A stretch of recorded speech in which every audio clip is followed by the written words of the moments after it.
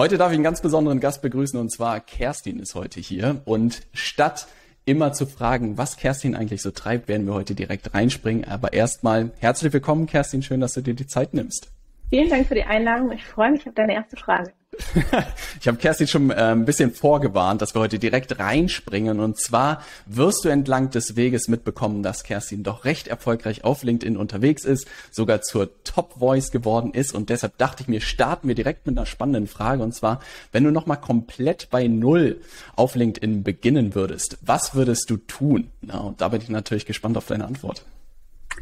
Uh, das ist irgendwie eine große spannende Frage zu Beginn. Ähm, ich glaube, ich würde erstmal überlegen, was möchte ich eigentlich auf LinkedIn? Mhm. Also erstmal, was ist meine Absicht? Möchte ich Kunden gewinnen?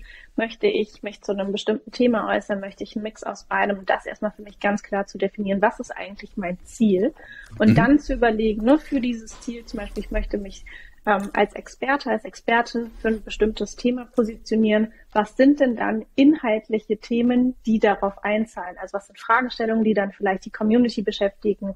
Ähm, und genau, dann entsprechend einfach mal Content Pieces, also einfach mal Beiträge, Texte vorzubereiten.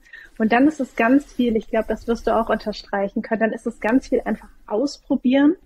Mhm. evaluieren, ne? was hat geklappt, welches Format kommt vielleicht gut an, welche Themen kommen gut an und dann eine stetige Verbesserung. Also ich vergleiche das immer ganz gerne mit dem, ähm, ich glaube, das heißt The Lean Startup Loop, ne? Mhm. Dieses Bild, ah. Measure, Learn. Ja. Also ne, ich baue etwas, ich habe eine Annahme, vielleicht dieses Thema funktioniert gut, dann schreibe ich's, gebe es einfach mal raus auf LinkedIn, measure it, also ne, ich messe es, ich gucke, wie mhm. ist die Reaktion, wie sind so die Rückmeldungen und dann lerne ich daraus und gehe nochmal weiter in den nächsten Content teil. Kerstin, wir starten ja stark. Das gefällt mir richtig gut. Direkt beim Lean Startup gelandet. Weil tatsächlich, ich glaube, das wäre super spannend und da bin ich auch neugierig, wie du das am Ende machst. Weil genau dieser Prozess, glaube ich, viele Leute sitzen, glaube ich, davor, wissen, dass sie mit Content starten müssen. Selbst wenn sie schon Content machen, ist es so, glaube ich, dass viele sich immer wieder was aus den äh, Fingern saugen, was sie posten könnten. Na? Kannst du mal ein bisschen berichten, wie du da rangehst? Weil ich fand diesen Gedanken so cool auch gerade mit diesem Lean Startup Circle sozusagen immer besser zu werden. Aber gibt es so einen Prozess, hast du einen guten Prozess für dich gefunden, wie du an die Themen kommst und machst du das wöchentlich, zweiwöchentlich, einmal pro Monat? Erzähl uns mal ein bisschen, wie du, wie du da rangehst. Das, da bin ich selbst extrem interessiert, wie du das machst. Also ich wünschte, ich könnte sagen, in meinem, du hast das perfekte System gefunden. Ja. genau, in meinem Contentplan ist für die nächsten vier Wochen alles geplant. Tatsächlich bin ich eigentlich auch eher so ein Typ, der vieles oder die vieles aus dem Bauch heraus macht. Ja. Und ähm, ja, es ist eigentlich so, dass ganz viel aus Gesprächen entsteht. Ne? Also ob ah, cool. wir uns jetzt mal austauschen, ob ich mit meinen Coaches zusammenarbeite, wie auch immer, ob ich eine Doku sehe, ob ich ein Buch gelesen habe, ich greife immer irgendetwas auf oder ich habe einen neuen Gedanken und dann merke ich, ah, okay, das ist irgendwie ein Thema, das könnte ich einfach mm. mal rausgeben. Das heißt, vieles entsteht so on the go Plus mhm. natürlich, und das wäre auch meine Empfehlung, ne, wenn man sagt, man startet jetzt irgendwie ganz neu, sich zu überlegen, was ist denn so ein Long-Content-Format, also irgendwie ein Format, wo du einfach längeren Content, längere Inhalte spielen kannst. Bei mir ist es mein Podcast. Mhm. Und dann ist entsprechend auch mal ein anderer Kanal, wie zum Beispiel LinkedIn, etwas, mhm. wo du mhm. eher so kürzeren Content spielen kannst. Und dann, wenn ich zum Beispiel sowieso meine Podcast-Folgen zweiwöchentlich vorbereite, kann mhm. ich natürlich sagen, okay, wie kann ich daraus jetzt zwei LinkedIn-Beiträge machen, die ah. unten dann auch nochmal auf den Podcast verweisen. Ne? So nach dem Motto irgendwie, es gibt fünf Tipps im Podcast, mhm. dreiteilig im LinkedIn-Post und unten steht dann nochmal, willst du mehr Tipps? Hör in die Podcast-Folge rein. Und daraus ergeben sich dann so organisch, sag ich mal, oder wie von selbst schon die ersten Teile, ähm, also Content, Teile, Content Pieces. Hey, das hört sich mega gut an. Jetzt, wo du das sagst, das ist tatsächlich ein System, was ich nicht habe. Also ich gucke die heute, nee, wirklich nicht. Ich gucke die so isoliert irgendwie an, die Sachen. Und dann kommt irgendwie ein YouTube-Video oder ein Podcast von mir raus. Und dann in dem Moment bin ich so, ha, man hätte eigentlich einen Post dazu vorbereiten können. Und dieser kleine Tipp hilft ja schon total zu sagen, hey, ich bereite jetzt meine Podcast vor und daraus überlege ich, ja, du siehst, na, selbst wenn man dieses Content-Spiel gefühlt schon jahrelang macht, es gibt immer noch Nuancen, die man besser machen kann. Und was ich spannend finde daran, dass du auch gesagt hast, dass man von den längeren Content Pieces sozusagen kommt und dann eigentlich die kürzeren ein bisschen davon ableitet, weil ich auch Überzeugung bin, dass man die Leute ja bestenfalls von der Plattform dann in seinem Podcast bekommt, weil man da natürlich nochmal mehr Aufmerksamkeit am Ende bekommt ne? und mehr Mehrwert auch liefern kann. Ne?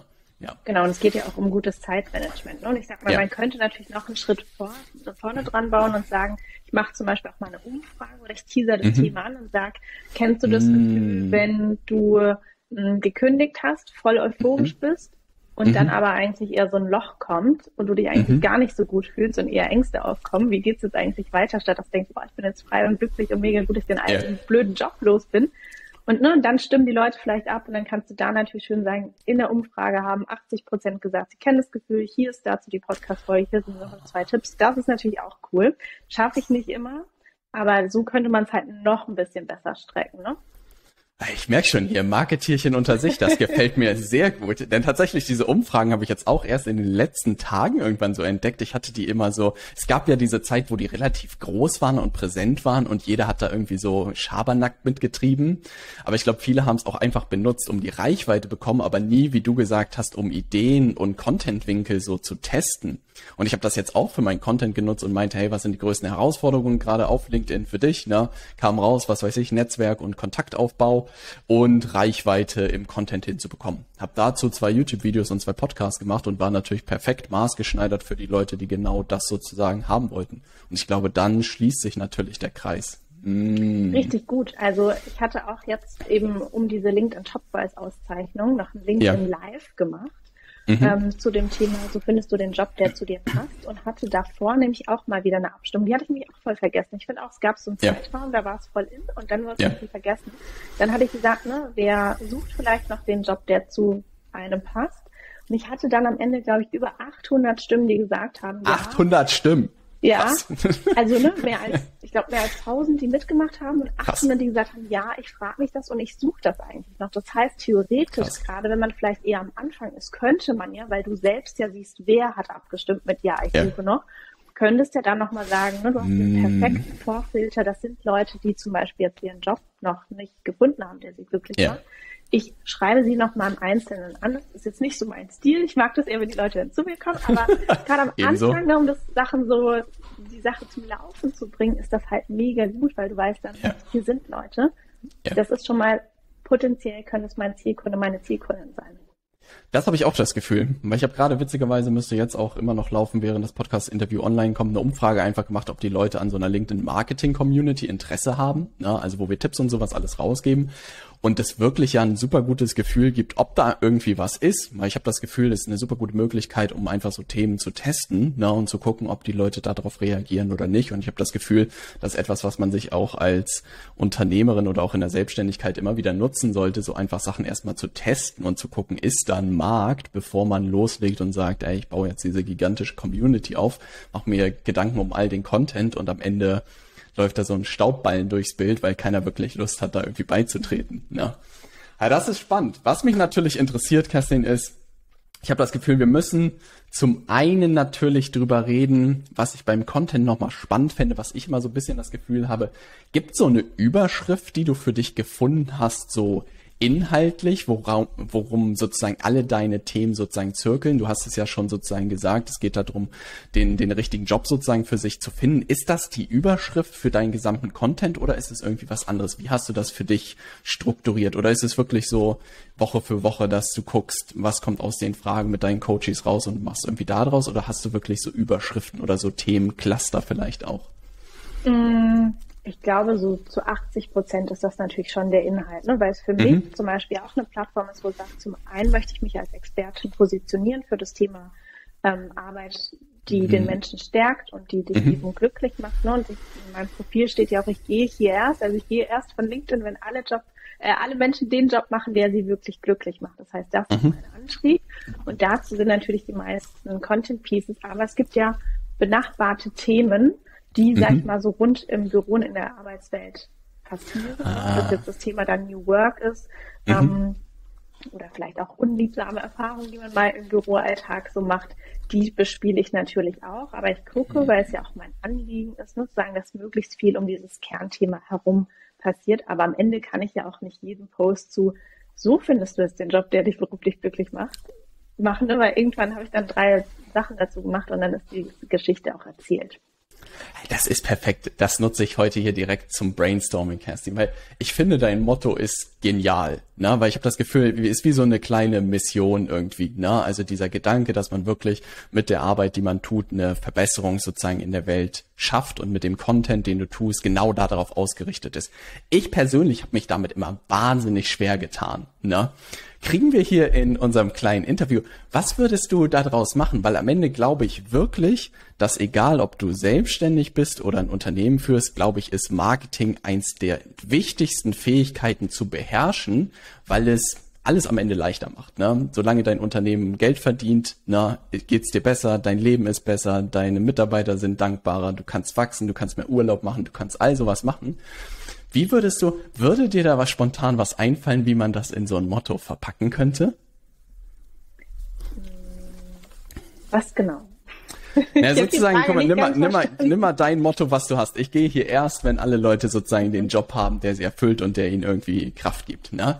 Wie würdest du das auf meinen Bereich adaptieren? So die Frage gestellt. Gäbe es dir was, wo du dir ein, gäbe es was, was dir einfallen würde, sowas wie, ich gehe hier erst, wenn? Natürlich die Frage so, ne, was, was für deinen Bereich das ist, was so der tiefste Herzenswunsch ist. Ne? Das vielleicht, wenn auch Menschen nicht mehr sich im Angestelltenverhältnis abmühen müssen, sondern frei und selbstbestimmt ihre Selbstständigkeit leben können. Mhm. Oder wenn Menschen keinen Stress am Morgen mehr haben, wie sie am Tag wie sie an den Kunden nächsten, gewinnen. genau, wie sie an den nächsten Kunden, wenn alle sozusagen genug zu tun haben, alles läuft, Freude an ihrer Selbstständigkeit oder an ihrem Unternehmen ja. haben und wachsen. Weil ich habe das Gefühl, wenn man diese Überschrift hat, macht es wahnsinnig viel leichter. Und ich habe das Gefühl, man kann immer so Themen irgendwie pushen, was man inhaltlich tut. Was weiß ich, dass man den Leuten Marketingberatung beibringt. Aber wenn man diese Überschrift hat, ne, hey, ich bin dabei, ja, vielleicht ist es auch sowas, wirklich Unternehmern dabei zu helfen, ihren Alltag leichter zu machen, dass sie endlich wieder Urlaub nehmen können und sich keine Sorgen machen müssen, ob ihr Unternehmen in zwei Wochen noch funktioniert oder nicht. Na, mhm. dann ist halt total die coole Überschrift, weil alles, was du tust, dann darunter daran ausgerichtet ist. Und ich habe das Gefühl, dass dir das wahrscheinlich unterbewusst auch immens im Content hilft, alles, was du tust, daran auszurichten. Und ich glaube, viele mühen sich sozusagen, boah, was kann ich im Content alles machen?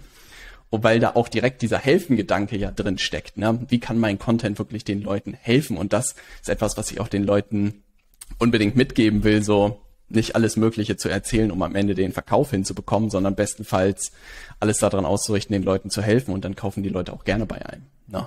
Absolut, genau, das wollte ich auch sagen. Das ging mir auch total durch den Kopf. Der Fokus ist dann auf, wie kann ich weiterhelfen? Was kann ich vielleicht noch an Methodik, Expertise, Schritt für Schritt Anleitung, was kann ich erstellen, um diesen Menschen zu helfen, von A nach B zu kommen, egal was ja. A und B sind. Und nicht dieses so, oh, ich will jetzt irgendwie auf LinkedIn wachsen, ich will jetzt mehr Geld verdienen und wie kann ich jetzt, ne? Also dann bin ich ja. ja so ich bezogen und suche irgendwie Content und so kommt er irgendwie so ein bisschen von allein und entwickelt sich von allein. Und das macht die Qualität um einiges besser. Und das habe ich auch gefühlt, ist so ein großer Unterschied zu dem, was ich zumindest so aus der Vergangenheit gesehen habe, auch so Influencer-Marketing auf Instagram irgendwie. Mhm. Dass es irgendwie so, es wurde applaudiert, wenn man einfach zeigt, wie toll man selbst ist. Na, also da war ja überhaupt kein Gedanke, dass man Leuten irgendwie helfen muss. Und ich habe das Gefühl, LinkedIn belohnt schon, wenn man den Leuten irgendwie hilft und Tipps gibt und Tricks gibt und irgendwie Gedankenanstöße gibt. Und ich habe das Gefühl, es gibt so ein paar Kandidaten, die diese Instagram-Formel auch irgendwie auf LinkedIn benutzen und so in jedem Post zeigen, wie toll sie selber sind. Aber ich habe das Gefühl, dass die Leute dann auch irgendwie irgendwann da so dahinter kommen und sich so denken, ja, ist schön, dass es bei dir läuft, aber was hab ich als Leser davon? Ne? Und dass das halt auch schwierig und sehr, deshalb habe ich mich tatsächlich auch selber immer sehr mit dem Begriff Personal Branding schwer getan, weil ich hatte das Gefühl, das zirkelt so um einen selbst. Ne? Und deshalb fand ich tatsächlich den Begriff lange Zeit so Social Selling ein Stück weit besser, weil es ein bisschen mehr vertrieblichen Ansatz hatte. Heute würde ich eher sagen, in die Richtung Marketing-Richtung zu gehen, weil das, was du gesagt hast, ich auch eher inbound sozusagen die Leute durch mein Content begeistern will und die sollen danach sagen, hey, ich habe Lust, irgendwie mehr zu erfahren, was du ganz genau tust. Sind wir beim Content? Themen, was ja spannend ist, was ich gerne mal hören würde von dir, Du warst ja recht aktiv auf Instagram lange Zeit und bist es wahrscheinlich mhm. heute noch, oder? Ein bisschen weniger, aber ja, ich bin noch aktiv. Ja. Warum LinkedIn? Was ist passiert? Na? Und wie ist es dazu gekommen? Oh, ich fand Instagram, ich weiß nicht, wie es für dich ist und war. Ich fand es irgendwann sehr, sehr mühsam. Ich hatte das Gefühl, ich mache so zwei Schritte nach vorne, ein zurück. ne, irgendwie ja. 30 Follower dazu, 20 wieder gegangen. Das Gefühl, es ist einfach sehr zäh und ja. mühsam und langsam. Und ich persönlich, und das ist, glaube ich, auch nochmal gut, sich das mal zu überlegen. Ne? Für mich ist Instagram so eine Lifestyle-Brand und ja. LinkedIn ist halt eher so für ein bisschen tiefere, schwerere Gedanken ähm, ja. und eher so ne, einfach die Business-Plattform. Und ich von ja. meiner Persönlichkeit ticke halt auch eher so, sag ich mal, in Richtung Dichter und Denker, wo ich liebe, neue Gedanken zu spinnen. Ne? Und wenn wir uns äh, irgendwie jetzt auch austauschen aus dem Interview, werden auch wieder neue Verknüpfungen entstehen. Das ist das, was ich unfassbar gerne mache. Und dafür habe ich auf LinkedIn einfach mehr Raum und Platz, weil Instagram, ich glaube, das kann jeder auch mal reflektieren. Man scrollt einfach nur durch. Ich habe jetzt auch die letzten Wochen das Gefühl, er wird fast gar nicht mehr kommentiert, maximal ja. geliked, aber es ist so sehr schnelllebig. Ja. Und auf LinkedIn kann dein Post auch mal ein, zwei, drei Wochen leben, sage ich mal, dass da noch was ja. passiert, die Leute interagieren. Und diese Gedanken und deine Arbeit und alles, was du da reinsteckst, wird halt länger gewertschätzt. Plus das organische Wachstum funktioniert da auch viel, viel besser. Ich wollte gerade sagen, das wäre ja tatsächlich auch so eine Frage, die ich auf dem Zettel habe. Da muss es ja mit, ich habe gesehen, über 37.000 Follower auf LinkedIn mittlerweile. Na, also Kerstin, das ist ja wirklich eine Hausnummer. Na, gibt's da so? Ich glaube, das ist nämlich auch so ein Part, wo ich dir vollkommen zustimme. Ich habe mich mit Instagram auch immer wahnsinnig schwer getan, bis ich irgendwann gefühlt nur noch Instagram Stories gemacht habe für Entertainment und das irgendwie so halbwegs funktioniert hat, weil du ja auch so, also ich meine es ist ja bildlastig und in Bildern irgendwie sozusagen Mehrwert zu liefern, ist halt meiner Meinung nach unglaublich schwierig. Na, wenn du Videos gepostet hast, hat das auch wenig gebracht, so dass ich irgendwann gesagt habe, hey, ich kapp das irgendwie komplett, weil es nicht meine Plattform irgendwie ist. Und das, was du gesagt hast, ich glaube, diese Besonderheit auch bei LinkedIn, dass du über deine Kontakte hinaus Leute erreichen kannst mit deinem Content, ist eine super coole Sache. Ne? Und dass du wirklich viel tiefere Sachen auch irgendwie teilen kannst. Und ich bin heilfroh, dass es endlich eine Plattform gibt, wo man auch so die Wirtschaft erreichen kann und es trotzdem diese menschliche Dimension hat, weil keine Ahnung, so auf Facebook und Instagram ist man nie an diese Leute rangekommen. Ne? Und ich habe das Gefühl, dass das bei äh, LinkedIn gut geklappt hat. Wie sah dein Weg aus? Weil was ich am Ende auch beobachtet habe, und das wäre ganz spannend, ich glaube, du hast deine Erfolgsformel, also dein Erfolgsformat auch für den Content gefunden. Ne? Also ist tatsächlich etwas, was bei uns, was wir mal beibringen, sozusagen unter Social Content im im Sinne laufen sollte, dass man persönliches Bild nimmt na, und sozusagen eine Story oder so mitbringt. Und das hast du ja für dich gefunden. Das sah am Anfang wahrscheinlich auch nicht so aus. Ne? Wie sah denn deine Testphase eigentlich aus und vielleicht auch in Zusammenhang mit den, mit den Followern, die du aufgebaut hast? Ist das dann irgendwann, ist ein Post irgendwie völlig durch die Decke gegangen oder ging das irgendwie so Schritt für Schritt? Führ uns mal da gerne durch.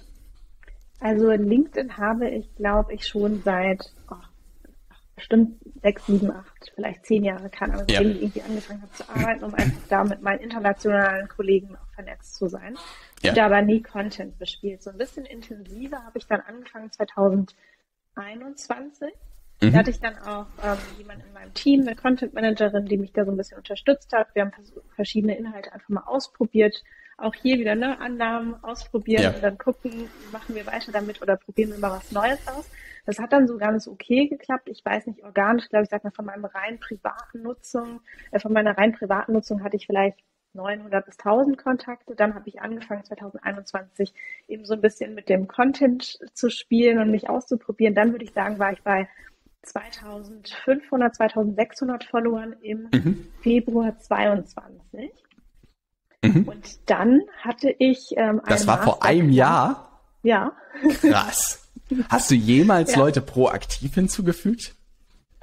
Am Anfang, ich hatte es ganz ja. kurz mal gemacht, ja. weil es ja auch so eine Strategie ist. Auf jeden Fall. Aber es hat sich so schlimm angefühlt. Ich, ich, also ich habe es, glaube ich, vielleicht drei, vier Tage gemacht und dann, nee, irgendwie, nee, ich, ich habe es ja vorhin schon gesagt, ne, ich liebe ja. das einfach, wenn ich Sachen rausgebe, Gedanken rausgebe und die Leute sagen, das ja. ist gut, das ist spannend, ich möchte ihr folgen oder ich möchte ja. mit ihr zusammenarbeiten und nicht dieses, hey, willst du mich hören? Ne? Und ähm, am Anfang, hey. genau, am Anfang war das vielleicht ein bisschen mehr dazu, um sich einfach zu etablieren, aber ja. das war einfach nicht mein Game. So deswegen ich ja. hatte 2500, 600 Follower ungefähr. Ja. Zu dem Zeitpunkt dann ein Abendworkshop angeboten, so eine Masterclass zum Thema selbstbewusst auftreten. Ja. Und dann war ich, ich weiß nicht, ich glaube, ich war so ein bisschen erkältet in meinem Schlafanzug und dachte mir so, oh, eigentlich kann ich nochmal einen LinkedIn-Post irgendwie so rund zu diesem Thema machen, nochmal auf die ja. Masterclass verweisen, vielleicht melden sich ja noch ein paar Leute an. Setze mich dann hier an meinen Schreibtisch, habe angefangen, was zu schreiben und dachte mir so, oh, das ist schon echt so, das ist schon ziemlich deep, was ich erlebt habe, ne? weil ich, also die Überschrift war, ich war selbstbewusst und dann kam die Arbeitswelt. Weil ich früher Oha. während der Schulzeit mega selbstbewusst war. Ne? Yeah. Ich habe dann irgendwie auch mal kann ich aus dem Nähkästchen plaudern. Ich habe auch mal als DJ aufgelegt. Niemals. Verein gegründet. ja, Geil. genau. also schon so meine Sachen gemacht. Und dann bin ich aber in diesen Arbeitskontext gekommen und ja. hatte in diesem Post auch beschrieben, ne, statt meinen Nike Air Force One, die ich geliebt habe, habe ich dann irgendwie so ein Ballerina ah, Stimmt, oh Gott, ja. Holunder und so ein Kram ja. und mich voll verkleidet. Und dann ist das alles so ein bisschen verloren gegangen oder ich habe mich ein Stück weit verloren, habe das runtergeschrieben, dachte mir so, holy moly, wirst du das jetzt echt posten? Dachte ich mir, okay, ich mache einfach. Und dann ja. ist wirklich einfach nur LinkedIn explodiert. Nachrichten, Benachrichtigungen, Follower. Und dieser eine Post hat mich von 2500, 600 Followern auf über 11.000 Follower katapultiert. Krass. Ein einziger Post. Krass. Krass. Weil ich Angst hatte, auf Veröffentlichen zu klicken. Aber ich habe das Gefühl, das ist witzigerweise, was Farina auch immer wieder sagt. Sie hat das Gefühl, bei den Posts, die geknallt haben, war, hatte sie immer Bauchschmerzen vorher. Weil sie meinte ja. so, ah, das ist ein bisschen, mm. Und ich glaube, das kann man auch am Ende mit Polarisieren relativ gut erklären. Ne? Also wo man selbst so ein bisschen weiß, ah, das wird anecken an der einen oder anderen Stelle oder geht ein bisschen zu weit. Das ist halt das, was auch heute ja belohnt wird. Ne? Ich glaube, das ist das Gute auch ja. daran, wenn sich Leute trauen, auch mal schwierigere Themen irgendwie anzusprechen, dass das am Ende belohnt wird. Aber das ist ja völlig verrückt und das zeigt ja auch nochmal die Power von der Plattform und ich glaube, das mhm. muss man den Leuten auch klar machen, dass man so ein Post entfernt sein kann. Ne? Also wir haben ja. einen, einen Kunden, die machen so Microsoft 365 Schulung ne, und war ein klassisches Trainingsunternehmen, haben das vor Ort gemacht ne, und waren natürlich durch Corona komplett gebeutelt. Und dann haben wir am Ende wirklich mit denen eine Content-Strategie entwickelt und er hat angefangen, so kleine Tipps und Tricks sozusagen rauszugeben vor ähm, dem Computer. Ne? Der ist auf über 45.000 Followern in, glaube ich, zwölf Monaten gewachsen durch diese kleinen Tipps und Tricks. Ne?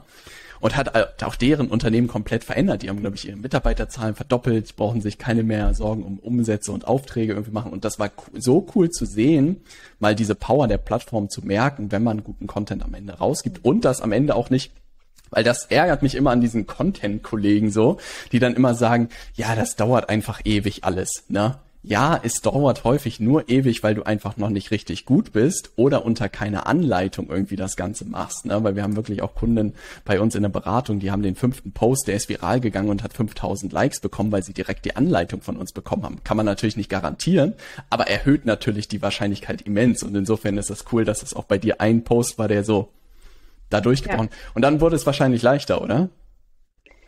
Ja, dann war natürlich erstmal für mich auch der Druck ziemlich hoch. Okay, wow. Scheiße, jetzt muss ich Ist liefern. Das jetzt der Beitrag meines Lebens? Kommt dann noch mal was Gutes oder was? Stimmt, dann hat man wahrscheinlich so Ängste, dass man so ein One-Hit-Wunder ist, ne? Ja. Genau, genau. Äh, ich habe noch mal, ich habe ein bisschen noch mal in meine Zahlen geguckt. Ich weiß, du magst das ja sehr gerne. Gerne. Ähm, tatsächlich habe ich geguckt. Also nee, der erste Virale, von dem ich gerade gesprochen habe, hatte zwei Millionen Views und 26.000 Likes tatsächlich und war deutschsprachig, muss man auch noch dazu sagen. Ne? Krass, krass. Es war schon heftig. Und dann kam aber noch einer, der war tatsächlich mal besser mit 2,4 Millionen Views und 37.000. Weißt du die Headline noch? Also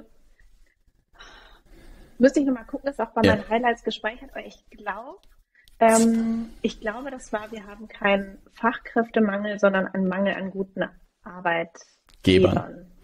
Spannend. Ich glaube, das war der Post. Also provokante Headline, äh, Headlines ja. kannst du auf jeden Fall ja, ja genau, so ein bisschen provokante Headlines, aber ich glaube, was wichtig ist, ist ja noch diese, wir haben im Marketing immer gesagt, diese Human Truth, ne, diese menschliche mhm. Wahrheit zu merken, genauso wie bei diesem Selbstbewusstseinspost. Da ist irgendetwas, was nicht so oft ausgesprochen wurde, ja. aber wo jeder sagt, so ein Fünkchen, natürlich gibt es auch Fachkräftemangel, ne, aber so ein Fünkchen ja. daran ist ja wahr. Denn wir haben auch ein Problem, dass es nicht genug gute Arbeitgeber gibt. Ja, auf jeden Fall. Da würde ich auch, ich glaube, das ist ein guter Punkt, dass da auch viel Wahrheit drin liegt und ich glaube, die richtigen Leute, die auch dazu stimmen würden, ne, dass da Luft nach oben ist. Ne? Ja. Aber ich glaube, also wie du, wie du auch nochmal gesagt hast, ne, es ist so ein bisschen ein Ausprobieren und für mich vergleicht das immer gern wie bei so einem Safe, den man öffnen möchte. Du brauchst die richtige Kombination und dann klickt alles ineinander. Ja. Also Themen. Ah. Bei mir war es irgendwann auch die Art des Schreibens. Also ich glaube, ich habe einfach meinen Stil gefunden. Mhm. Kurze, knackige Sätze, eine bestimmte ähm, Abfolge von Paragraphen, beziehungsweise mhm. einfach so ein ja, bestimmtes Layout vielleicht. Ne? Mhm. Und das ist irgendwas, wo ich mhm. mich einfach sehr wohlfühle. Das hatte ich das ganze Jahr davor auch nicht gemacht. Mhm. Und dafür braucht es aber manchmal so ein bisschen Trial and Error ausprobieren, um so seinen eigenen Stil zu finden. Und es hilft auch nicht. Das sehe ich nämlich auch, dass manche versuchen, das zu übernehmen. Ja, funktioniert sagen, nicht, ne? okay, ne? Wenn ja. Kerstin so schreibt, schreibe ich auch genauso. Und dann läuft das. Es, du musst gucken, was zu dir, deiner Marke, deiner Audience, ne, deiner Zielgruppe ja. und dem Content passt. Und das muss irgendwann so ineinander klicken und dann läuft es halt einfach richtig, richtig gut. Ja, ja, das ist wirklich ein guter Punkt, dass du das sagst, dass man da so seinen eigenen Stil finden muss und dass man dann auch vielleicht so Sachen mal testen kann. Und deshalb finde ich dieses Testing-Framework auch so extrem gut von Lean Startup, weil man, glaube ich, viele Formate und auch viele äh, ja, Formate testen muss und sozusagen Schreibstile und so auch testen muss, Bilder testen muss und sowas sich für einen auch richtig anfühlt und bestenfalls dann trifft man ja wie diesen Safe sozusagen, dass man alle Parameter trifft und dann kann man auch eigentlich all in gehen, ne? weil wenn ich mir deine letzten Beiträge sozusagen angucke, folgen die ja immer dieser Erfolgsformel und das macht die Arbeit wahrscheinlich für dich auch deutlich leichter und erhöht natürlich die Chancen, ähm, dass es die Aufmerksamkeit bekommt, die es verdient hat. Ne? Ah, das ist nochmal ein schöner Gedanke. Ja. Oder erzähl mal sozusagen diese Aufmerksamkeit als, als äh, Coachin oder als Coach warst du ja sozusagen unterwegs. Ne?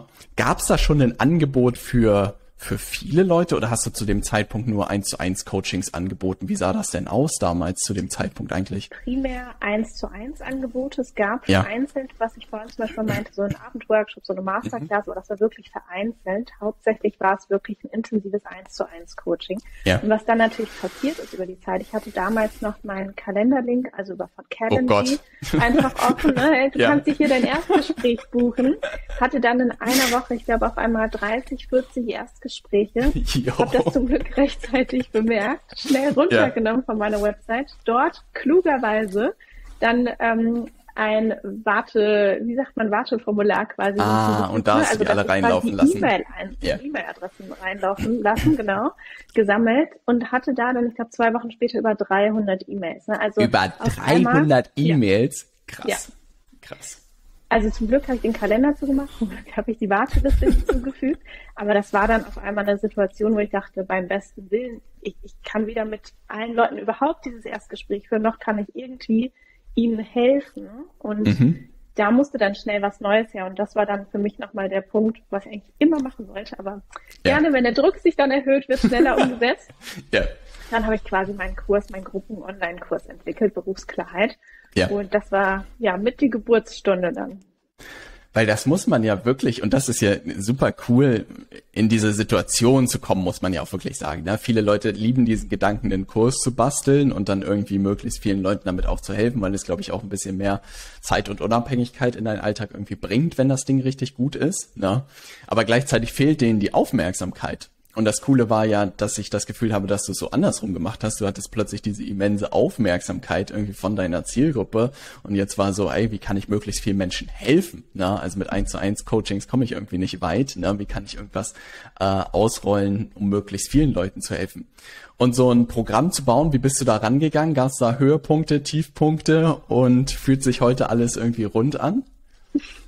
Fühlt sich rund an. Ich muss sagen, mhm. ich habe Vielleicht auch, weil ich das meistens wirklich aus dem Bauchgefühl raus mache. Meistens, sondern das hatte ich im 1 zu 1 Coaching auch, so was ja auch eine bestimmte Programmform ja. hat. Ja. Eigentlich immer, wenn ich mal den guten, richtigen Moment habe, so auch mit meinem ähm, LinkedIn-Content, ich setze mich hin und ich schreibe die Struktur einfach runter. Cool. Also ich wünschte, ich könnte jetzt irgendwie sagen, ja, ich habe dann drei Stunden und drei Tage und ich habe was überlegt. Aber ja. es kommt einfach aus dem Bauchgefühl, ich denke, was sind, ist die logische Reihenfolge, was müssen wir machen? Was ja. ist das, was ich auch nur mitgeben möchte? Wie formt sich dieser Prozess am Ende zu dieser Erkenntnis? Was macht mich mhm. eben beruflich glücklich? Und dann mhm. habe ich meistens die Grobstruktur vom Programm in 20, 30 Minuten max aufgeschrieben. Und dann komme ich nochmal dazu, nur die einzelnen Inhalte zu befüllen, zu überlegen, welche ähm, genauen Themenübungen an welcher Stelle für mich ist immer das Herausfordernde die Technik, wenn ich dann mal wieder vier Videos aufgezeichnet habe und dann merke, dass mein Mikrofon aus war, solche Geschichten. Ne? oh ja, oh denke, Highlights. Alles ja. für die Katze, das war richtig gut. ja, oh, das kenne ich, ja. Ja, das war eher der Pain, muss ich sagen, die technische, äh, technische Komponente. Ja, das kann ich mir vorstellen. Aber das ist super cool, weil ich habe das Gefühl, dass auch zu, zu bauen macht ja unglaublich viel Spaß. Ich glaube auch alles sozusagen zu dokumentieren. Ich bin gerade auch in einem Prozess, weil wir so eine größere Lösung mittlerweile, wie du witzigerweise gesagt hast, viele an, unserer Kunden auch an den Punkt kommen, dass sie sagen, hey, Social Selling und Content und Nachrichten ist irgendwie cool, aber ich will eigentlich eine Lösung haben, die auch ohne Nachrichten funktioniert und die auch so ein Stück weit unabhängig von meiner Zeit funktioniert. Und am Ende, glaube ich, die Überschrift ist, dass wir wie so ein Akquise-Funnel gebaut haben für LinkedIn. Na, dass wir versuchen, die Aufmerksamkeit auf der Plattform zu bekommen, egal ob über Content oder über Werbeanzeigen. Und dass es dann im bestenfalls einen Funnel gibt, der die Leute sozusagen aufwärmt, den besten Content an die Hand gibt und dass sie dann irgendwann sagen, hey, was sie da tun, hört sich spannend an, ich buche mir mal ein Telefonat. Na? Und ich merke, dass auch dieser Bau des Programms ist auch immer so ein innere innere Kampf mit sich selbst irgendwie das Beste irgendwie liefern zu wollen, weil ich habe das Gefühl, in jedem Modul bin ich so, ah, was sind die besten, was die kürzeste Lösung, was ist das beste Tool dafür? Und ich bin immer in diesem Prozess, wenn ich das baue, bin ich auch immer danach recht froh, wieder ein Stück weit raus zu sein, weil es auch irgendwie ein bisschen anstrengende Arbeit ist. Ne? Mhm. Hast du das auch so erlebt? Also hast du da auch bei Modulen so gemerkt, ah, wie kriege ich da irgendwie das Beste raus? Oder war das aus deiner Expertise und aus deiner Erfahrung ähm, entspanntes Dokumentieren, weil du all diese Sachen aus den 1 zu 1 Coachings hattest?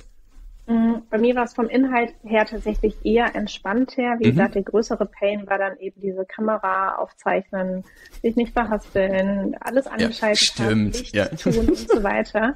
Äh, ja. Das war für mich wirklich das Größere. Und natürlich dadurch, dass ich ja auf einmal diese große Nachfrage hatte, war ich dann so, okay, das heißt, jetzt wird schnell dieser Kurs erstellt, der wird schnell verkauft. Und er wurde auch verkauft, bevor alle Inhalte und alle Videos ah, aufgenommen waren. Ah, ja. Ne? Heißt natürlich, du hast während des Kurses natürlich auch nochmal den Druck zu sagen, jetzt müssen irgendwie die anderen Inhalte auch nochmal fertig werden. Also einfach so einen ja. zeitlichen Faktor. Ja, da hast du es ja richtig das gemacht. Das hat ein bisschen ja. Stress gemacht. Sell before build, ne, heißt es ja immer so schön. Ne? Erst verkaufen und dann das Ganze bauen. Wie hast du es verkauft? Würde mich interessieren. Wie sah deine Strategie aus? Mm, sie wird immer besser. Mhm. Sie wird immer besser und feiner, weil ich hatte hauptsächlich Newsletter-Marketing gemacht, eben mhm. weil ich ja auch schon die E-Mail-Adressen eingesammelt hatte mhm. und dann natürlich nochmal über Podcast äh, Pre-Rolls quasi, ne, also einfach bevor die Folge angeht, da nochmal geteasert. Übrigens, ne, jetzt ist das Programm offen oder Termin steht fest oder trag dich auf die Warteliste ein. Also da mhm. auch nochmal so ein bisschen den Traffic, die Leute einfach nochmal da in die Warteliste zu bekommen und aufmerksam zu machen ähm, dass dieser Kurs jetzt einfach entweder bald kommt oder gerade offen ist zur Anmeldung. Cool. Kurs dann Instagram und ne, LinkedIn, alles, was ich irgendwie so ähm, beschreiben konnte oder bespielen ja. konnte. Und da ist aber auch nochmal ein wichtiges Learning. Du kannst es auch für dich mir gefühlt 500 Mal gesagt haben. Es gibt immer Menschen, mir ist das auch beim ah. letzten Launch wieder passiert. Der Kurs ist zu, ich habe gefühlt so viel erzählt und dachte so, hoffentlich gehen die Leute nicht auf die Nerven. Und trotzdem hatten sich, glaube ich, noch drei oder vier Leute am nächsten Tag gemeldet und gesagt, oh, ich habe es irgendwie jetzt erst gesehen, kann ich mich noch anmelden. Crazy. Also man kann nicht genug kommunizieren. Ja, ich habe auch das Gefühl, man hat immer Sorge, zu sehr zu pushen, aber ich glaube, in dem Lärm der heutigen Welt muss man so viel pushen, dass die Leute es überhaupt mitbekommen. Ne? Mhm. Und dann ist, glaube ich, auch das, ah, das ist cool, dass du das sagst, dass du sozusagen die Launch-Formel am Ende gemacht hast, ne? weil ich glaube auch, dass das eine große Magie hat, eine klare Deadline zu haben. Ich glaube auch in der, in der Betreuung dann macht es natürlich mehr Spaß, wenn du so eine geschlossene Gruppe hast, wo die Leute sagen, hey, jetzt geht's irgendwie los. Ne? Und im ersten Launch hast du nur E-Mails gemacht Genau, E-Mails und so ein bisschen natürlich über LinkedIn und so weiter. Aber ich ja. hatte ja die Leute auf der Warteliste. Ah. Und tatsächlich muss ich auch sagen, ich habe lange die E-Mail-Liste unterschätzt. Das war für mich auch so oh, ein bisschen langweilig, ja. LinkedIn und Kurs aufregender.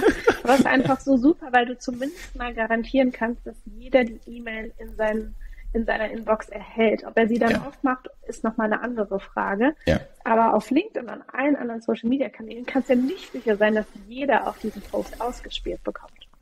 Da hast und du daher würde ich E-Mail auf jeden Fall immer direkt mitdenken und irgendwie versuchen, die Leute auf eine Warteliste oder wie auch immer da nochmal reinzuholen. Ich habe auch das Gefühl, ich habe da bis heute nicht so groß drüber geredet, aber ich würde mal sagen, 20 bis 30 Prozent unseres Umsatzes machen wir über E-Mails. Ne? Und ich glaube, zum einen ist es der Punkt, dass du die Leute besser erreichst, ne? weil du davon ausgehen kannst, dass die Leute sehen.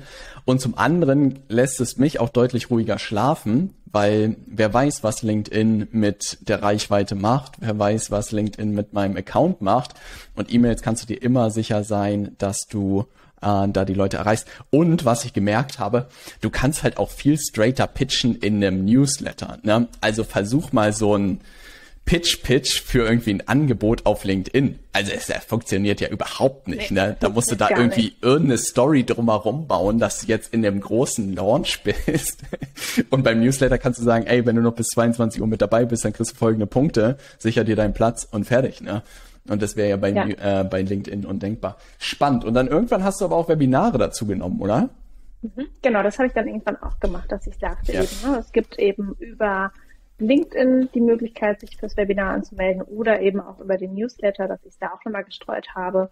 Und das ja. habe ich auch nochmal mit dazu genommen, ja. Was mich natürlich interessiert, ist so, ich versuche wirklich gerade guck mal, Akquise ist ein unglaublich schwieriges Thema, muss man ja, kann man ja nicht anders irgendwie sagen. Und ich versuche wirklich so ein Modell zu bauen, wirklich ein Marketingmodell zu bauen, weil ich habe das Gefühl, da gibt es wenig, was sehr gut erklärt, was so die wichtigsten Metriken irgendwie sind. Na, und ich glaube, Reichweite ist schnell erklärt, dass du deine Zielgruppe irgendwie erreichen musst. Ist irgendwie schnell erklärt, dass die Leute ein Stück weit Vertrauen zu dir haben müssen. Na, aber kannst du auch sagen aus den Erfahrungen der Launches, was so die Schlüsselmomente vielleicht waren, auch die Leute, die dann sich am Ende für den Kurs entschieden haben und die Zusammenarbeit, wenn du so auf die guckst, was aus deiner Sicht so die wesentlichen Kontaktpunkte vielleicht oder auch Erlebnisse waren, dass sie am Ende gesagt haben, hey, ich mach das jetzt? Hättest du da irgendwie ein Gefühl dass für? Dass sie gekauft haben. Dass sie gekauft haben?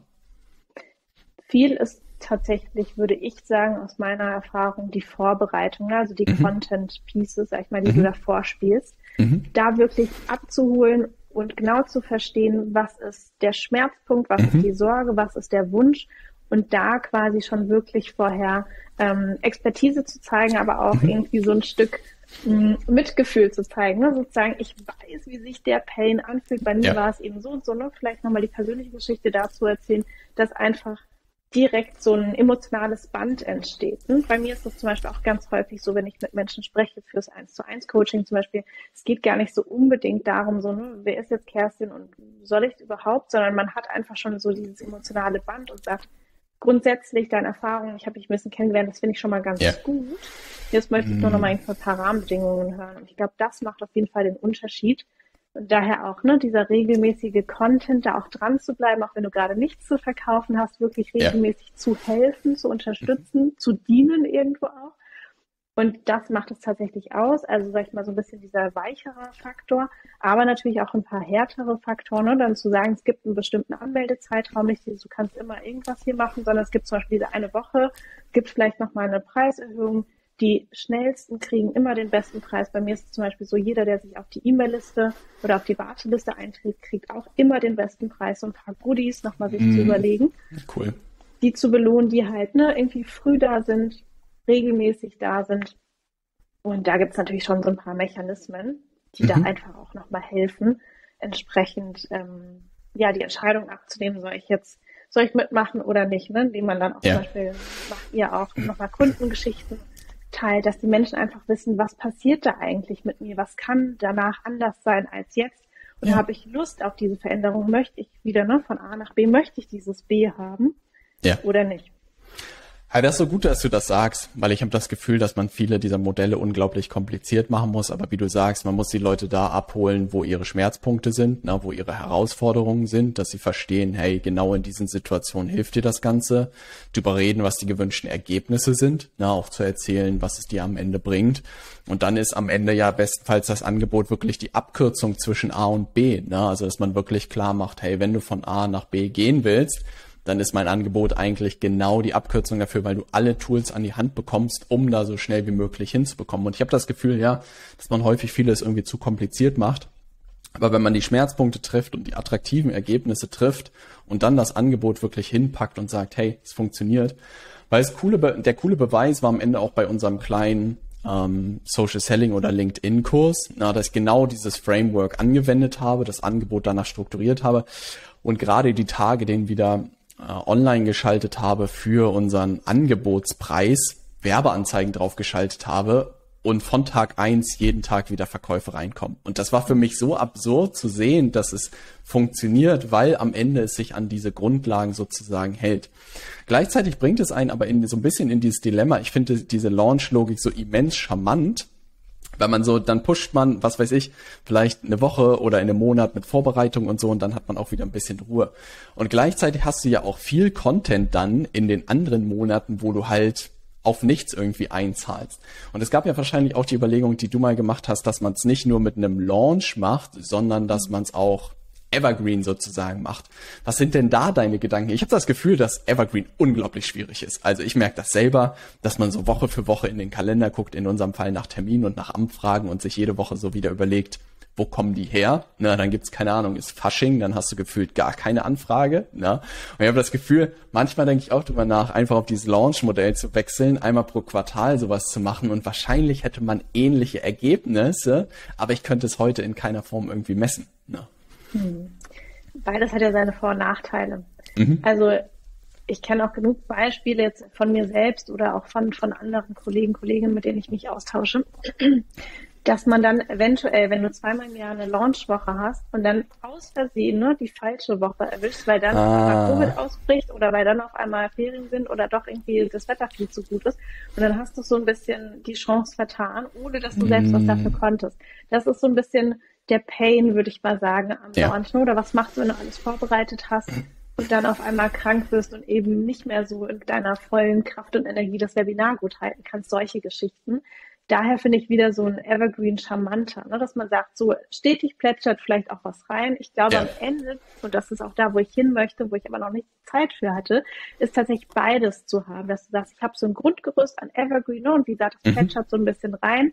Das ist jetzt vielleicht nicht der Riesenumsatz, darf es auch gerne werden, aber ne, von meiner Erwartung ist das vielleicht einfach so ein bisschen ja, Brot- und Buttergeschäft, sag ich mal, ne? so ein bisschen was kommt da immer rein. Das hat wieder die Planbarkeit, was ja auch viele von uns einfach ja, ruhiger schlafen lässt, ne? Genau. Ja, ja. Zu wissen, ne, so ungefähr, wenn ich x Euro für Werbeanzeigen ausgebe oder wie auch immer, kommt Y rein, ne, deckt vielleicht schon mal, weiß nicht, meine Miete und so ein bisschen ja. was drumherum. Und dann haue ich nochmal diese Launchphasen oben drauf und da ist dann vielleicht auch nochmal der, äh, sag ich mal, der Deckel offen und es kann halt einfach viel mehr eventuell reinkommen. Du kannst beide Vorzüge miteinander kombinieren. Wie gesagt, das ist etwas, wo ich jetzt erstmal mittelfristig sehe, dass ich da hin möchte. Im Moment, genau, ist es eher noch Launch. Mein 1 zu 1 Coaching ist theoretisch Evergreen, aber das ist halt meistens ausgebucht. Deswegen ja. äh, dann irgendwie auch nicht Evergreen. Ja. Ja, das, ich habe mir witzigerweise nebenbei notiert. Ich glaube, dieser Gedanke von Kampagnen könnte man mitnehmen, ne? weil das ist etwas, was ich überlegt habe, auch gerade bei uns in der Vermarktung für die Beratung zu überlegen, dass man so Anlässe schafft, warum Leute in einem bestimmten Monat zum Beispiel starten sollten. Ne? Wir werden irgendwie äh, Anfang Juni, ja, werden wir ein, ein Event zum Beispiel ein dreitägiges hier in Malaga machen und man könnte ja wirklich sagen, alle Leute, die im Februar mit dabei sind und buchen, sind sozusagen eingeladen bei diesem Event. Ne?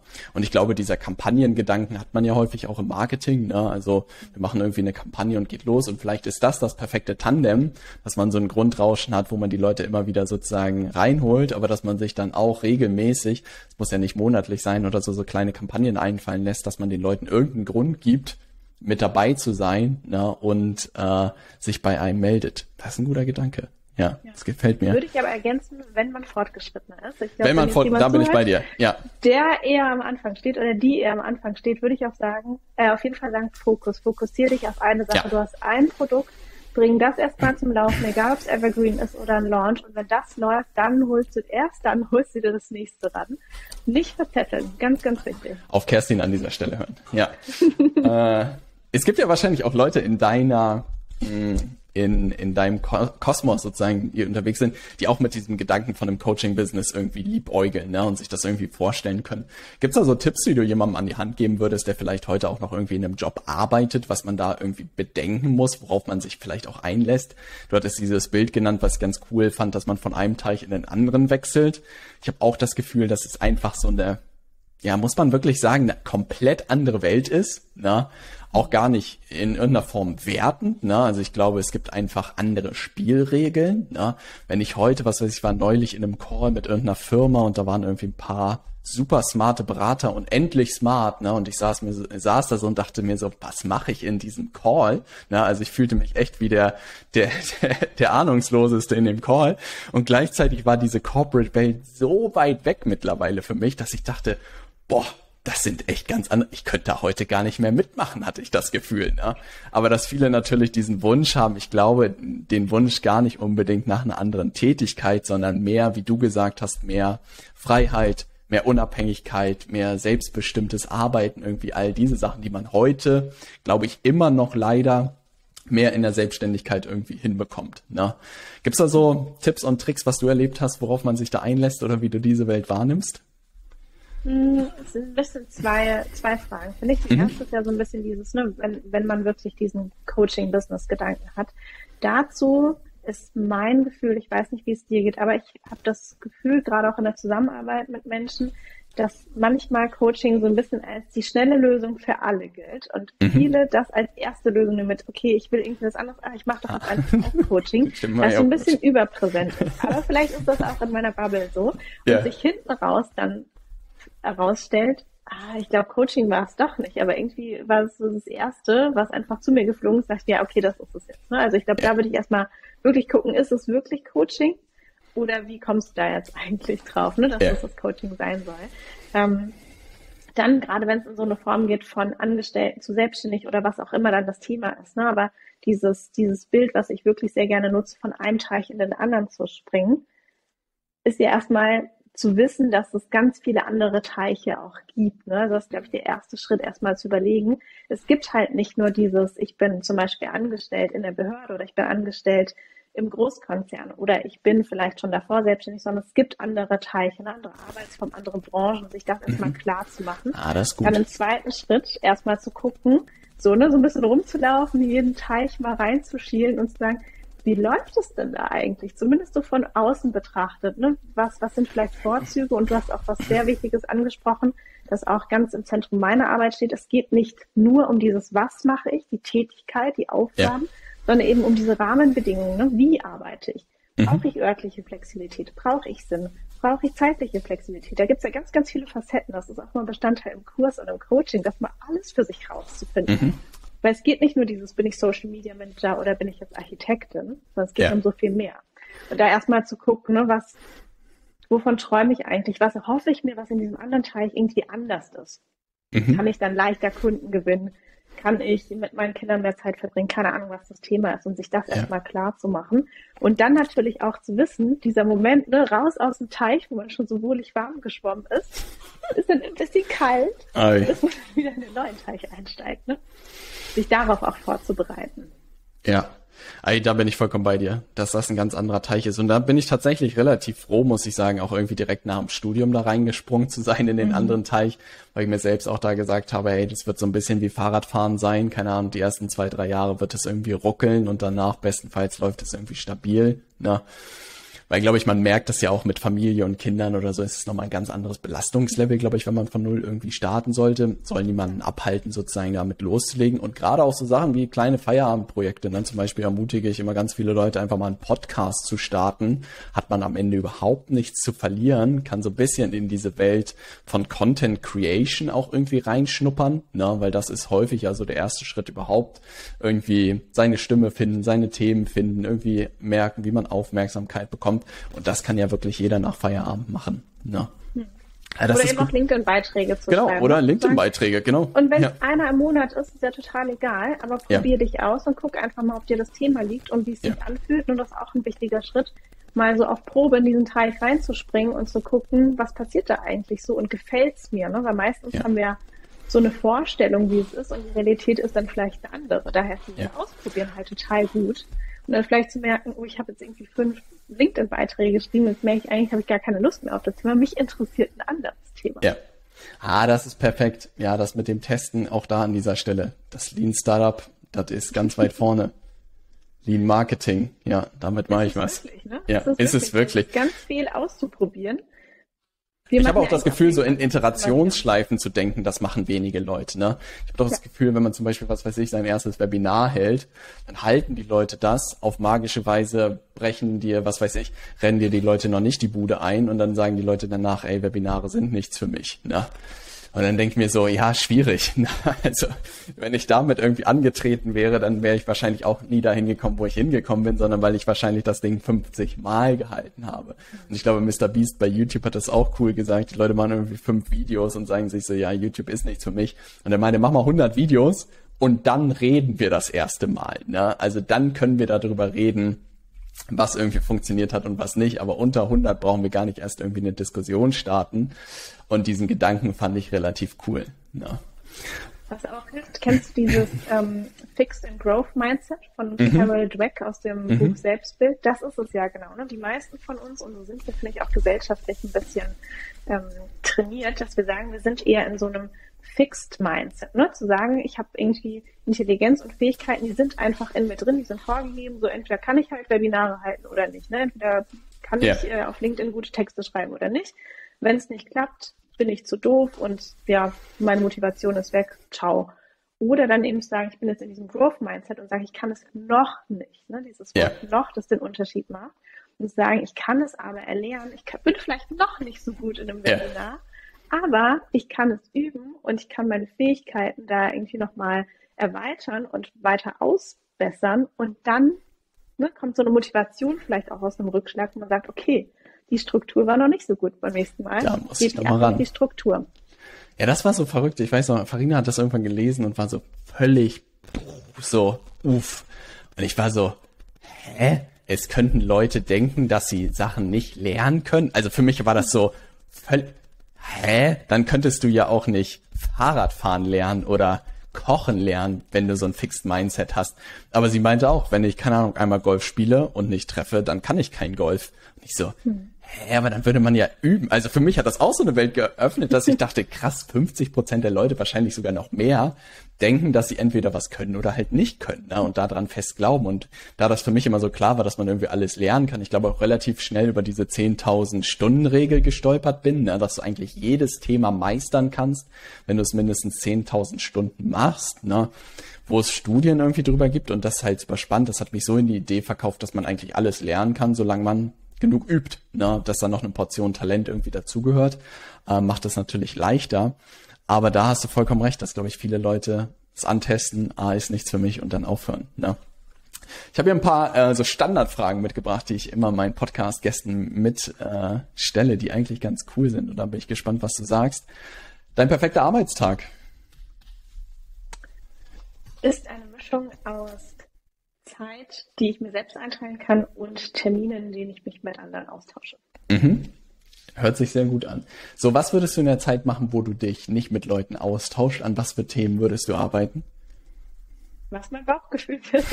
Je nachdem, auf was ich Lust habe. Das. Ich bin echt so ein super intuitiver Mensch ja. und das habe ich lange nicht verstanden, als ich in der Konzernwelt ja. gearbeitet habe mhm. dass ich einfach ne, so ein bisschen dieses Dichter und Denker oder Freigeistige ja. in mir trage. Das ist voll schön. Wenn ich Lust habe, einen Text zu schreiben, ja. schreibe ich einen Text. Wenn ich Lust habe, ein Buch zu lesen oder zu brainstormen oder mir irgendwie was anzugucken bei TED oder irgendeinen spannenden Talk reinzuziehen oder vielleicht auch einfach mal gar nichts zu machen. Mhm. das ist für mich wirklich, warum ich auch angetreten bin in, ähm, in freieres Arbeiten, dass ich einfach ja. diesen Raum habe, selbst zu gestalten, wonach mir ist. Hey, das ist unglaublich schön, weil man das selten hört. Ne? Und das bringt mich eigentlich zur zweiten Frage. Da bin ich gespannt, ob es die gleiche Antwort ist. Gibt es so, strukturierst du deinen Tag? Gibt es irgendeine Form von Produktivitätssystem oder ist es morgens, dass du dich an den Re Rechner setzt und sagst, hey, ähm, er muss ja irgendeine Form von To-Do-Liste regelmäßig geben, oder? Ich liebe Listen. Für mich ah, da jetzt wird's spannend, ja. Ich musste mal meinen Mann fragen, der sagte immer, oh, lass mich fragen, wir müssen dafür eine Liste machen. Lass uns eine Liste machen, ja. Ich mag Listen sehr, sehr gerne. Und ähm, was ich zum Beispiel habe, ich habe diesen Wochenkalender, ne? Ich mhm. habe irgendwie von der Sparkasse oder irgendwie sowas, ja. und so habe ich das von meinen Bekannten irgendwas der Familie bekommen ja. und schreibe mir da rein so die Main drei bis fünf To-Dos für den mhm. Tag. Mhm. dass ich einfach weiß, was dran ist. Ne? Und dann weiß Pro ich, Tag Beispiel, schon. Jetzt ein, ja, genau. Also genau. jetzt nicht unbedingt, dass ich das vorschreibe, aber dass ja. ich, wenn ich morgens mich ransetze, schon sage, okay, was mhm. muss heute gemacht werden? Mhm. Und dann sage ich, ne, ich schreibe heute zwei LinkedIn-Artikel, ich nehme eine Podcast-Folge auf, mhm. ähm, ich, keine Ahnung, guck mal da nach E-Mails, die ich noch beantworten muss, wie auch immer, dass ich weiß, was sind so die Hauptsachen, vor allem auch die mhm. größeren, die ich machen muss, weil sonst aus meiner intuitiven, ich habe mal Lust auf dies und das, ich meistens eher dieses kleine Frickelzeug mache. Hier die E-Mail, ah, da, so diese kleinen ja, Aufgaben, gefährlich. die nicht so richtig ja. weiterbringen. Ja. Und deshalb habe ich manchmal auch entweder Blöcke im Kalender oder eben mit diesen drei bis fünf Punkten pro Tag, wo ich dann weiß, ich habe alles abgetickt, ich habe alles erledigt. Und das sind jetzt auf jeden Fall die Sache, die ich, die Sachen, die ich heute nach vorne gebracht habe. Ja. Ah, das ist gut, weil wirklich die Gefahr besteht immer, dass man in diesen Kleinigkeiten versinkt, ne? Und dass man dann sich irgendwie ja befriedigt sich anfühlt, weil man irgendwie super viel weggehauen hat, aber am Ende hat es irgendwie ja. gar nichts gebracht, ne? Keinen Schritt weiter gebracht. Gute Antwort. Wenn du gestresst bist, ne? Also ich habe das Gefühl, Kerstin, das merkt man sehr, dass du sehr in deiner Mitte bist. Ich glaube, so kann man das wahrscheinlich sagen. Ja. Aber es gibt wahrscheinlich auch Momente innerlich. Ah, äh, Momente, wo du gestresst bist, was, was sind so vielleicht Tipps und Tricks, um dich da rauszuholen wieder aus diesen? Ich habe das Gefühl, immer wenn ich mit anderen Kolleginnen und Kollegen spreche, irgendwie so einmal im Monat gibt's immer diese Existenzängste, wo irgendwie jemand so anklopft und sagt, wenn die Welt untergeht, ich weiß nicht, wie es dir geht. Aber mittlerweile ja. so ein paar Sachen etabliert, um da schnell wieder rauszukommen. Hat, hast du da irgendwelche Tipps? Wenn ich wirklich gestresst bin, yeah. hilft mir am allermeisten zur Thai-Massage zu gehen. Ah, echt? Ja, voll cool. Ja. Ja, ja also das, das ist so das, wo ich wirklich, wenn ich schon reinkomme und ich rieche das und die Musik ja. und dann zerfließt in mir innerlich schon alles und ich bin so, ah, okay, das ist eigentlich alles okay. Die Welt ist in Ordnung, ähm, ja. Genau, ansonsten ist es manchmal auch abends ein heißes Bad nehmen. Das ist zum Beispiel auch so eine Routine, wenn ich eine Live-Session am Abend hatte. Mhm. Danach heiße Wanne einlassen und einfach runterfahren. Cool. Ja. Ähm, manchmal ist es auch ne, in die Alster gehen, eine Runde spazieren gehen, Sport machen. Mh, hm, auch sehr unterschiedlich, was ich gerade brauche. Und manchmal, wenn so viel Energie in mir drin ist, dann habe ich das Gefühl, ich muss jetzt echt mal rennen oder irgendwie wirklich äh, schwitzen, ja. um das ja. rauszulassen. Und manchmal ist es eben eher dieses, ich brauche jetzt die Ruhe und eben nicht diese Aktivität um mich dann wieder zu ernten. Das heißt, es ist so ein bisschen unterschiedlich, je mhm. nachdem, mhm. wie die Verfassung gerade ist. Und auch da habe ich, glaube ich, einfach ein sehr gutes Gefühl so zu mir ja. selbst. Aber meistens ist es eben entweder so eine Ausruhenkomponente, Massage, Baden oder eine sportliche, bewegende, frische Luftaktivität. Cool. Das wären, glaube ich, auch die Sachen, die ich machen würde. Mit Baden, das ist natürlich cool. Ey. Ich habe auch einen Kumpel, der das auch irgendwie mehrmals die Woche macht. Und ich dachte mir, ey, das ist irgendwie so ein cooles Ritual, was man nur noch selten hört. Ich bin eigentlich immer jemand, der in Hamburg darauf geflucht hat, dass diese ganzen Wohnungen immer diese unnütze Badewanne haben. Weil ich mir dachte, Echt, wer geht heute... Ja, wirklich, weil man so, wer geht noch baden in dieser Welt? Aber anscheinend, ja, scheint es für viele ein gutes Instrument sein, um stresslos zu werden. Ist gut zu hören. Ja. Vor allem im Winter. Ja, vor allem im Winter. Gibt es ein Buch, was du jedem empfehlen würdest? Ah, da gibt es so viele tolle, je nachdem zu welchem Thema. Was ich sehr, sehr gerne mag, ist von Alex Balayan, glaube ich, heißt mhm. er, The Third Door oder das Tor zum Erfolg auf Deutsch. Ja. Ähm, das muss ich mir mal aufschreiben. Geschichte. Ja. War ein Student ähm, in den USA, der dann, glaube ich, bei irgendeiner Quizshow ich glaube, er hatte ein Segelboot gewonnen, also auch was sehr, sehr hochpreisiges, hat das aber ja. verkauft, damit das Geld genommen. Hatte immer den Wunsch, berühmte Menschen zu interviewen, um ja. sie nach ihren Erfolgsrezepten für die jüngere Generation zu fragen. Dann hat er ja. wirklich über, ich weiß nicht wie lange, eine längere Zeit nach der Bill Gates interviewt, Lady Gaga, Steven Spielberg ist, glaube ich, drin und hat am Ende rausgefunden, aus diesen ganz individuellen Erfolgsgeschichten, wie sie es eben geschafft haben, dass sie eben alle so eine Art Third Door, also dritte Tür gefunden haben und vergleicht das mit der Analogie von einem Club.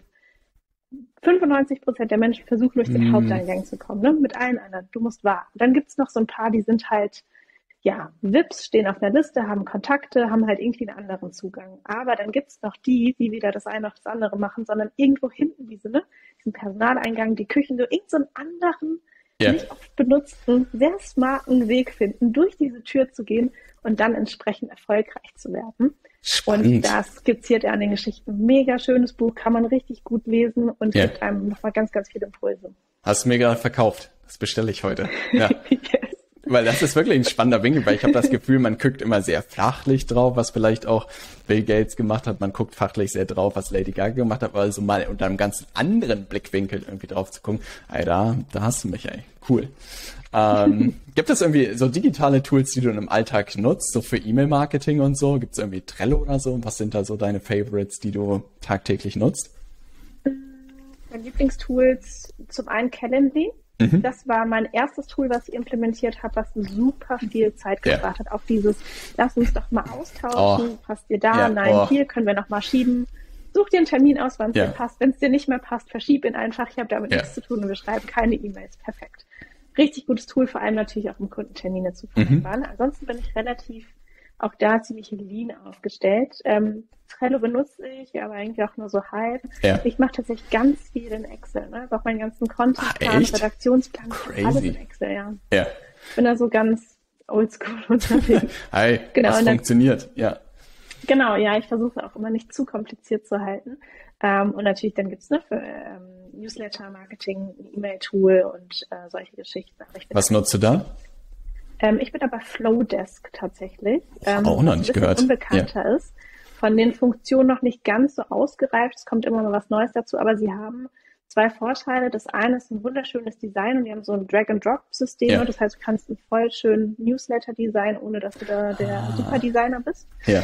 Ähm, das andere ist, du zahlst, am Anfang waren es, glaube ich, 18 oder 19 Dollar im Monat und unbegrenzt, wie viel E-Mail-Kontakte du da drin hast. Ach cool. Und mit der Ambition, sehr, sehr viele Menschen meiner E-Mail-Liste zu haben, ist das natürlich ist das ein Wettbewerbsvorteil, ne? richtig cool.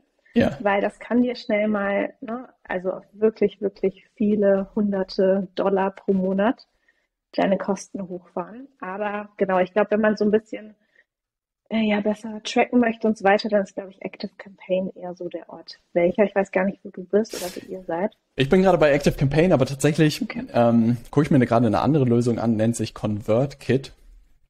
Ähm, was super spannend ist, weil das große Problem ist, was Active Campaign nicht gelöst hat, ist, wie kriegt man Leute in seine E-Mail-Liste rein. Ne? Und das ist gerade, wenn du am Anfang stehst, halt total das Ding. Also, dass man nicht mal eine Landingpage vernünftig bauen kann, die halbwegs gut aussieht, wo man, was weiß ich, ein Freebie oder ein Lead Magnet draufpacken kann, gibt's bei Active Campaign nicht. Ne? Und ConvertKit kriegt das halt relativ cool hin, simple Formen und Landingpages zu bauen, die gut aussehen und hat auch einen super advanceden E-Mail Autoresponder, so dass ich tatsächlich gerade überlege, ob ich da nicht umziehe, weil es irgendwie beide Sachen, die miteinander verbunden sind, plötzlich vereint, die man sonst immer über Insellösungen irgendwie machen muss und noch viel günstiger ist. Also da gibt's, glaube ich, geht das auch ab 10 Dollar oder so los. Ne? Und das hört sich äh, sehr gut an. Ich spiele gerade damit rum, ob es alles kann. Werde ich mal berichten, ob das gut aussieht. Was habe ich denn hier noch auf meiner Fragenliste? Gibt es ein Motto, das dich nachhaltig geprägt hat in den letzten Jahren? Dein Leben ist dann erfolgreich, wenn es sich für dich so anfühlt. Oh, das ist gut. Stimmt, das habe ich ja. irgendwann gesagt. Das ist ein verdammt gutes Zitat. Selbst entwickelt oder irgendwo drüber gestolpert?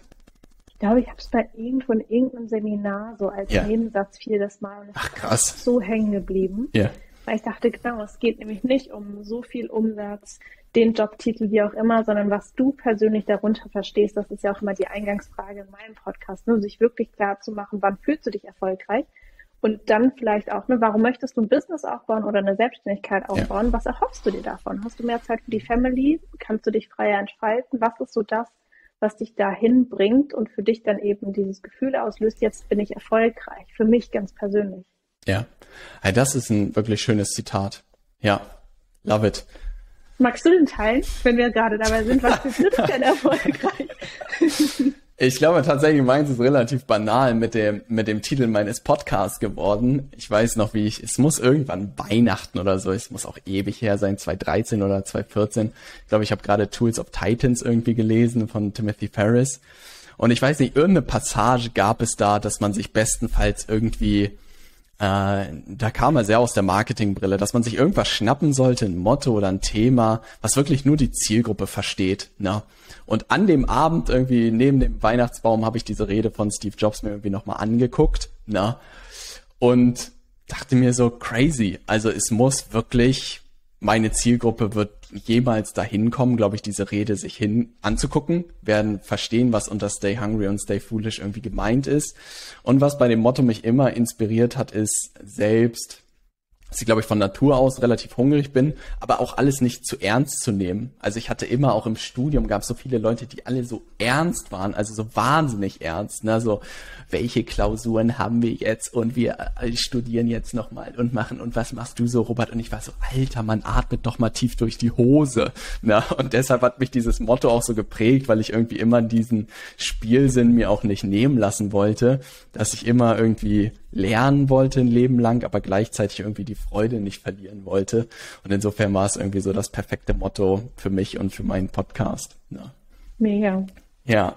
Letzte Frage. Na, ähm, welche Tipps würdest du einem smarten, äh, einer smarten Studentin, Studentin, Studentin oder Studenten geben und was sollten sie vielleicht ignorieren an Tipps und Tricks? Hm. Finde heraus, was dich begeistert. Mhm. Probiere viel aus. Mhm. Und überleg dir wirklich, wie du arbeiten möchtest oder wie du dein Leben ausgestalten möchtest. Ne? Was für dich wirklich dieses Erfolgreiche ist oder freie oder kreative, was auch immer dich lockt. So wie genau sieht das ja. eigentlich aus? Versuch dir den Tag so genau wie möglich vorzustellen. Ja. Von der Struktur, vom Ablauf, vom Inhalt und darauf hinzuarbeiten und auch nur wohl wissen, dass jetzt nicht der erste Job oder der erste Versuch genau das in Perfektion liefern muss, sondern dass es so ein kontinuierliches Nachbessern und Drehen ist ähm, am, am Zahlenrad, ne? Vielleicht um mhm. zu merken, okay, ich kann es noch ein bisschen feiner justieren. Ja. Und auf gar keinen Fall solche solche verallgemeinten ne, Sachen wie, das macht man halt so, das, das geht nicht. Ja.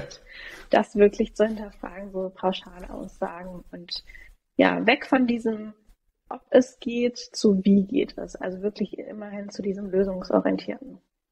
Robert Kiyosaki, das ist tatsächlich eine Frage, die mich nachhaltig geprägt hat. Ich glaube, da ist irgendwie so der arme Vater und der sagt, ein iPhone können wir uns nicht leisten. Na, und der smart oder der reiche Vater hat dann immer gefragt, ja, wie können wir uns ein iPhone leisten? Und ich habe das Gefühl, das hat so viel in meinem Leben auch verändert, so, dass viele Leute und ich mich selbst auch häufig selbst limitiert habe und dann immer es gedreht habe, so, ja, wie könnte es denn funktionieren, von Spanien aus zu arbeiten? Na, was müsste ich denn dafür tun? Und die Punkte, die du gesagt hast, könnte ich nicht mehr unterschreiben. Ich glaube, viel ausprobieren, na, dass man sein Leben wirklich gestalten kann, auch proaktiv aktiv gestalten kann.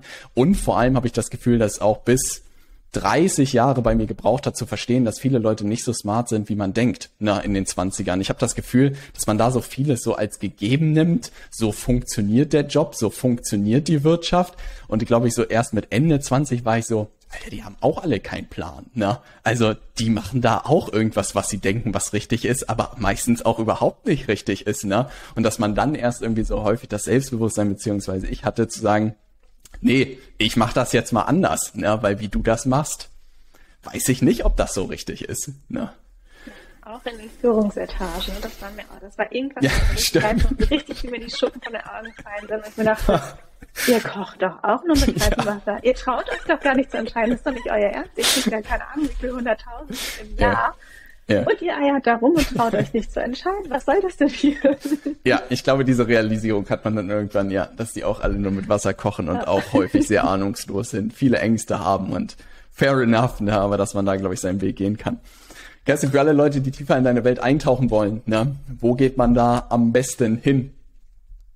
Gerne auf LinkedIn mhm. ähm, in einem Podcast gefühlt erfolgreich oder auf die Website kerstinfuhrmann.de. Genau. Kerstin, vielen, vielen Dank für das sensationelle Interview. Hat mir sehr viel Spaß gemacht. Viel mitgeschrieben hier nebenbei, was ich alles mal mitnehmen werde. Vielen, vielen Dank dir. Vielen Dank für die guten Fragen und für die neuen Gedanken.